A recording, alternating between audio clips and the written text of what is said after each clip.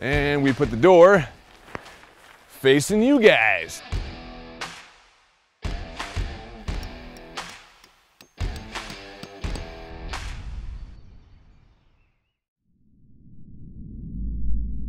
All right. Hey, it's Andrew Bocher with GY6 Outdoors. Today we have a tent review. Uh, a lot of you guys were requesting it over at Patreon. How easy is it to take down? Um, the process, comfort level, the room, the space, all sorts of stuff, information that goes into a tent and also value. There's a lot of money you can dump into a tent. A lot of the times you don't need to dump that much money into it, especially if you have, you know, maybe two seasons of camping and you're not gonna be doing it so often in extreme temperatures or in extreme snowstorms or winds. You know, if you're not camping in those situations, you don't need to spend a ton of money on a tent. Ugh we have the Kelty Circuit 2 tent. This tent is very affordable. It's sub $100, which is a good price range. Uh, there are a lot of good tents sub $100 and there are a lot of crappy tents sub $100. So it's, it's important to test them because a lot of the people that are going out for weekend camping or their first time going in the outdoors or camping in general, they don't want to spend a ton of money on a tent because they're not sure if they're going to like it. So sub $100 tents are usually the ones that are bought the most. The expensive ones we will be getting into. We need more, obviously, uh, fan funding, so that's what we have Patreon for at patreon.com forward slash GY6 Outdoors. The more we get people on board and we have fans coming over to help support, the more higher end stuff we can test. Right now, all out of pocket and uh, not cheap when you buy a ton of stuff. Trust me, uh, there's a ton of different price ranges when you get into small tents as well, uh, due to the fact that the quality increases when you go from a two season tent to a three season tent to a four season tent. And for extreme temperatures and weather, your tent needs to be kick ass. Put that down over there. Ah, makes my job that much more fun. But yeah, I have used this tent. I've used it for about a year now, just about a year. Uh, it's when they first came out, and I've liked it a lot. Uh, it it does what you need it to do for an affordable price, and I've put it through the ringer in extreme temperatures, uh, pushing just below sub-zero, so about negative one, negative two degrees, and it was very warm for being just a three-season tent. Uh, the winds were fairly high, not extreme. It did snow on me. It did rain on me. It did hail on me no leaking, no issues there. Um, water testing for these tent tests, I'm not gonna do most likely. If you guys really want me to, I can. I can take it into the backyard and spray it with a hose and be like, hey, look, there's no water. Um, which is a good thing. I mean, certain tents do leak even though, even though they say they don't. So we might wanna do that. If you're okay with me doing backyard hose testing on a tent, if you wanna see that, let me know in the comment section, say yay or nay. Um, for water testing like that is I, I want to test the water aspect, but it seems pretty boring, but it is, excuse me. A lot of condensation though does build up inside of tents due to the fact you're warm, the outside air is cold, condensation happens on the inside of the tent and the rain fly and it'll drip sometimes inside your tent. So you will get moisture, but it doesn't mean the tent is leaking. So keep that in mind. So the Circuit 2 tent, it's a good design. Uh, like I said, it fits me. I am six foot three, 225 pounds, and I fit very well in it. When I'm perfectly stretched out, my feet are kind of touching the backside of the tent, and my head is about three inches, about three or four inches away from touching the other side of the tent. It is a freestanding dome design tent. Uh, it has a, what they call on the packaging, let me take a drink before I say this,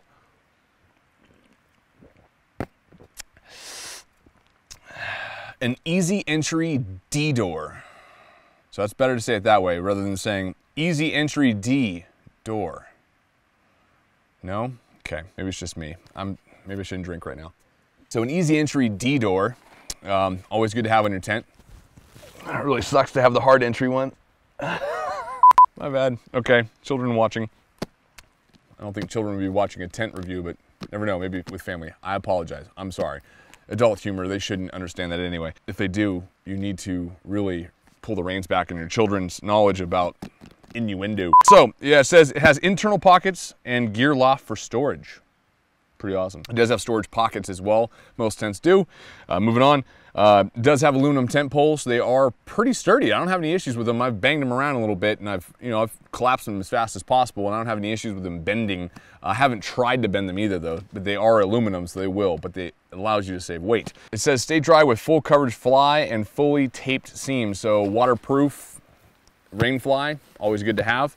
Uh, don't go camping without a rain fly. I don't care what the weather says. If it says you're never gonna have rain this week, they're liars. Every time you hear that, it's gonna rain. So always be prepared. Prepare for the worst, hope for the best, and you'll enjoy your time in the outdoors. Guy lines and stakes are included. That's true. Guy lines are in here. I don't usually use guy lines because I'm not in extreme winds. Stakes are plenty. Four corner stakes are plenty for what I go into usually. If there is going to be high winds and I'm going into like a mountainous area or climbing a mountain and being on the side of a hill in a snowstorm, I will bring guy lines because that is important. You want to stake your tent down as much as possible hold it where you want it to be. You don't want it going anywhere. Fly vent for increased ventilation, that is a good aspect. Some tents are kind of stuffy. They don't have enough ventilation in the upper part of the tent. So if you're sitting down like this in the tent, uh, you have three feet, seven inches of clearance from the ground to the roof before you start hitting. Now that depends upon where you sit in the tent as well. If you're too far back, uh, you could be hitting that dome part even at a shorter height. But if you're right in the middle of it, it's three feet, seven inches. And if I'm sitting like this in the tent, my head is, it's got some, a little bit of room, but not much. Uh, the floor space, it is 33 square feet of floor space. But remember with the tent, 33 square feet of floor space doesn't mean you have that much room to move around. It's just the square footage of the base of the tent. So certain tents that have, um, they have a cross beam tent pole, it pulls the sides of the tent away so you don't have this collapsed feeling, kind of like when you're in the shower with a shower curtain. If your shower curtain's perfectly lined up with the uh, tub, you don't feel like you have as much space. But if you get a curved shower curtain, you feel like you have more elbow room because it pulls it away. I know it sounds like common sense, but it's good to know. Um, so you have seven feet, four inches from one end to the other. But once again, the tent slopes down. So you have to cut off about four inches on each side. Um, and that is roughly what you have to go off of usually is about four to five inches on each side because that tent slopes. I mean, yeah, if you're friggin' a hobbit and your foot's barely going that far out, yes, you'll have seven feet, four inches, but most feet are gonna be like this. You'll be hitting a part of the tent eight inches before the maximum distance. Keep that in mind. And you have four feet, six inches on width, which is nice. Beer break. Ah. I think I'm gonna enjoy GY6 Outdoors more than I do GY6 Vids, and that has guns in it. Thank you, Terminal Gravity. They're not a sponsor yet. You never know. I love their beer. Their Tap Out's one of my favorite beers of all time. It's called Tap Out. High octane stuff and delicious. Oh, we'll open this up, take this out real quick. Let's set this thing up here in a second. So this is the bag. Uh, it's important to notice and know the girth of the bag you're taking, especially if you're going to be backpacking. Uh, every inch of space and every ounce of weight is important, especially if you're going for long, long distances. You know, your big three, you're gonna wanna save as much weight as possible. Notice the difference in size. A lot of tents are huge. This one, I'm pretty sure, yeah, it's stating that it is eight inches in overall diameter and 22 inches overall length. So you, you have a decent pack size. And the weight, one of the most important things, packed weight, four pounds, 12 ounces, minimum four pounds, two ounces. I'm guessing their minimum is because they're removing some of the stakes, you're removing maybe the guy lines, you're removing some of the, maybe the internal pocket areas, the netting that holds up in the top. Maybe it's without the rain fly. I don't know, but I would not I'd rather pack another seven, eight ounces and take the rainfly. It's starting to rain a little bit. Now we can utilize the rainfly. Hey! Instructions that come with the circuit one, two, and three. So there are different sizes. This is the circuit two. The three is a three-man tent. The one is a one-man tent. Pretty self-explanatory. So either way, we'll link all three tents in the description. All right. So to be straightforward and brutally honest, I, myself, am not the best tent setter upper. So in a group of people, if there is four, I might be top three. Uh, I like to take my time so I don't have to get up in the middle of the night and fix what I messed up, but I also throw away the instructions and just kind of wing it, and that's probably half my battle. That's why it's good to know a tent that you have and bring it with you consistently. but because I test out different gear and I'm always trying out new things, it's always a fun learning experience. So when you get your tent, fold it out, lay it out onto your tarp. Inside you're gonna find, usually, your stakes. We found those. You'll have a bag for your tent poles. Put those to the side. Your rain fly, put those to the side. Lay your tent out. I personally don't stake down the tent yet because the tent's gonna move around a little bit once you start putting the poles in. Always keep your tent closed until you're ready to go inside of it because bugs get inside of it, all that fun stuff.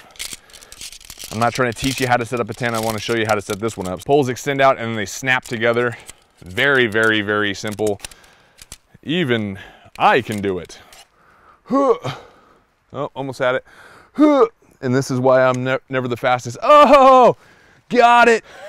I end up dicking around and that's why I'm usually not the fastest. All right, Ugh. ah, crap. All my hard work, once again, why I'm not the fastest. There it is, got it again, two for two. Keeping pressure on that one. You're trying to poke these through the little eyelet areas. There's little holes at the end of the tent. All they do is they fit right into it, both sides. Next set of poles going together.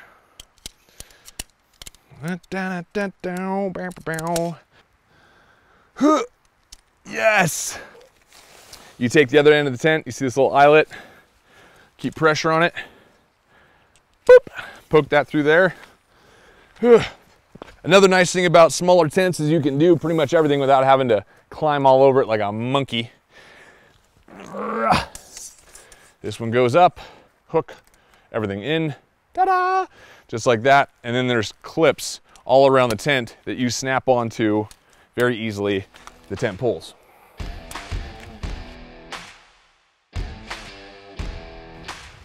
And we put the door facing you guys.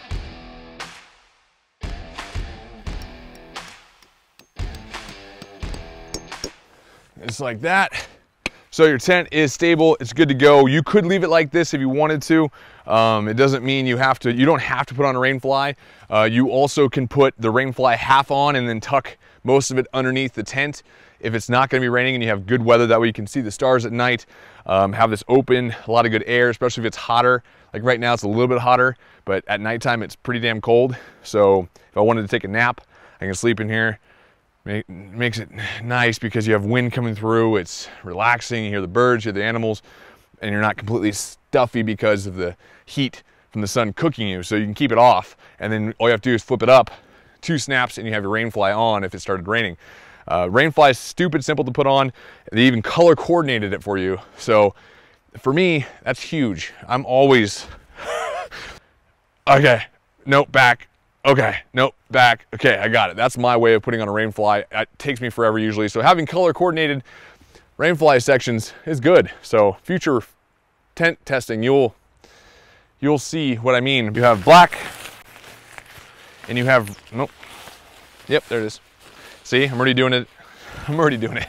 You have black clip and you have a red clip and, uh, or black clips and red sash, black sash, they plug into their corresponding spots. So if I were to go like this, I know it's wrong because there's red, there's black, switch them up. You have the vent on this side. This vent you can just Velcro up or Velcro down if you want it up or down. Depends on how much ventilation you want. You can tighten the rain fly as well. It has a vestibule area in the front that comes out. So you can stake this down like so.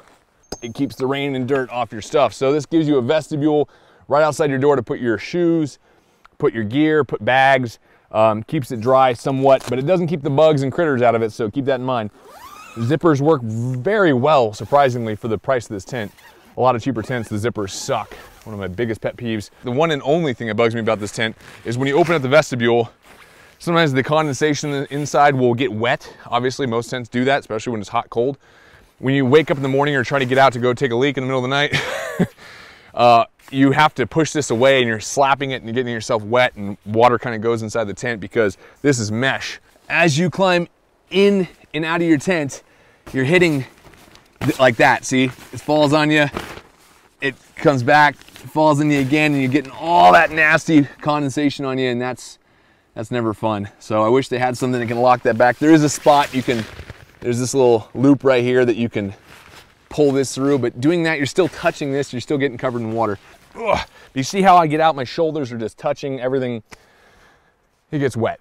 So if there's condensation, for the most part, that usually always happens if you're sleeping anywhere where it's slightly colder than the inside of the tent, you're gonna get condensation. So my only pet peeve, easy to set up, easy to break down, good for three seasons, you might be able to push it into four seasons depending upon how much warm clothing you have inside the tent and what bag you have. Uh, but if you had to, I think it'll be okay. Let me know other ideas, other tents, other items for the outdoors that you want to see reviewed fully.